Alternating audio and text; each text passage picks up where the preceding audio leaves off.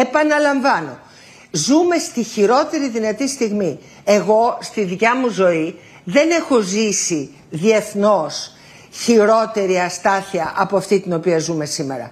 Το βλέπετε μόνοι σας λίγο πριν παίξετε, το, το βιντεάκι για τη Ζαπορίζια. Ναι. Καταλαβαίνετε τι θα πει μια πυρηνική έκρηξη σήμερα. Εσείς ήσασταν μικρά παιδιά Σίγουρα όταν όχι, έγινε δεν το το γνωρίζαμε. Τσέρνομπιλ. Εγώ είχα μωρό το γιο μου όταν έγινε το Τσέρνομπιλ και θυμάμαι πως έτρεχα να βρω γάλατα σε κονσέρβα για να μην πιει ο Κώστας φρέσκο γάλα τότε. Και θυμάμαι πως έτρεχα να βρω γάλατα σε κονσέρβα για να μην πιει ο Κώστας φρέσκο γάλα τότε. Τα θυμάμαι αυτά. Λοιπόν, καταλαβαίνετε ότι ζούμε σε μια εποχή στην οποία η αστάθεια είναι το μόνο σταθερό.